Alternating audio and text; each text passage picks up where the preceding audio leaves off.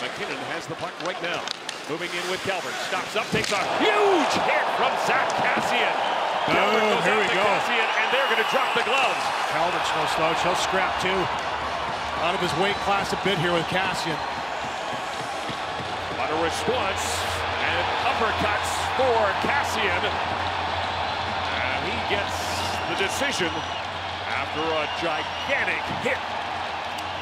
You know, it's what we want. We want to see these two big lines go head to head, especially Nathan MacKinnon and Connor McDavid in this matchup. And Zack Kassian with a huge hit to start this whole thing. And that's the game that he brings to the table playing with these two. And guess who it is? MacKinnon. Boom. And it's a good, clean hit. MacKinnon stops, doesn't see Kassian coming. It's shoulder to shoulder, and it's a hard hit against the top player of the opposition. He shook up after that one. Matt Calvert comes in right away and says, no way, you're not taking out our best player like that. And drops the glove, was a much bigger guy. You like to see that from Calvert. That's a great first shift for Kassian to set the tone.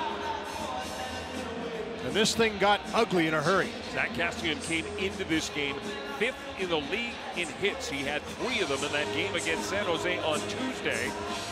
But one of the biggest hits he has thrown all year against one of the biggest stars in the National Hockey League.